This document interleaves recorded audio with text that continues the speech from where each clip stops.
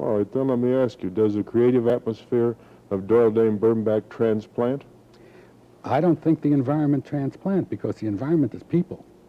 And uh, if they took all of us with the man they hire, it would transplant. But uh, I have seen some of our good people leave and not do the same quality work that they've done while they were with us. There's a, a relationship between the, the management with the creative management, indeed between the whole management and a creative person that just can't be ignored.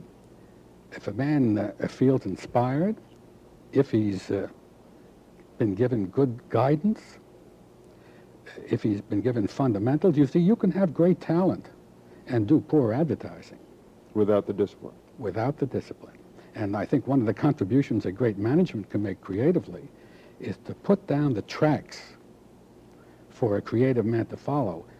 But at the same time, he must understand the problems of the creative man. Because if he doesn't, the creative man will not respect him and therefore not accept the guidance.